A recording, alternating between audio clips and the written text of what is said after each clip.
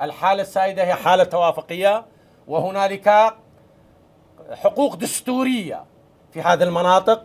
الدستور القانون القرارات. كما تعلمون الدستور هي الزعيم الأوحد لكل العراقيين وحقوق في هذه المناطق.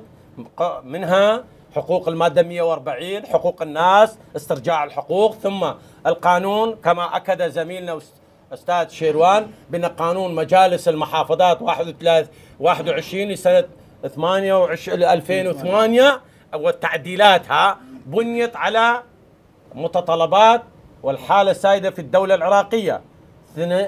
ثالثا قرارات الأخوان في مجلس المحافظة.